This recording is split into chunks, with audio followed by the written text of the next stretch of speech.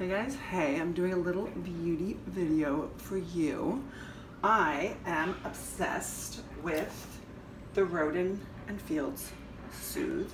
This is the Gentle Cream Wash, Gentle Cream Wash Soothe. Okay, I'm gonna do a little of that. Actually, in my kitchen. The lighting is really, really pretty here. I wanted to do it here for you guys. my little orange tree. My daughter Sea. Ben Simone is doing the video. So hey, Sea. Hey, thank you for doing this video. So we are going to use the Soothe. Okay. And you guys, because I have older skin and I have psoriasis, I need a special kind of hydrating lotion. So I use the Rodan and Fields Active Hydrating Hydration Serum. Can you guys see that? Gorgeous. packaging is really pretty too.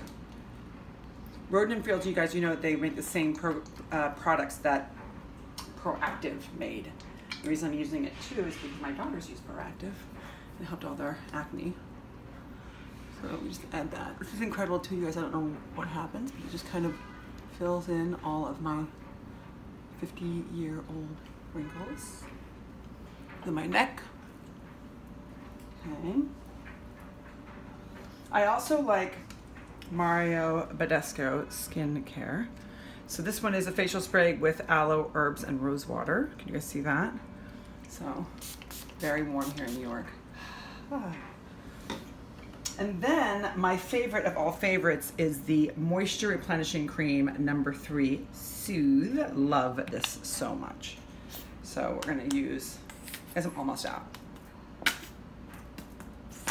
I'm obsessed with this. Obsessed.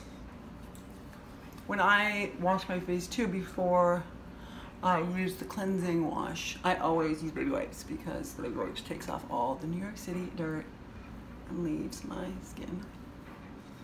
I'm using them little my hands because I love having nice looking hands and feeling hands. And that is my routine.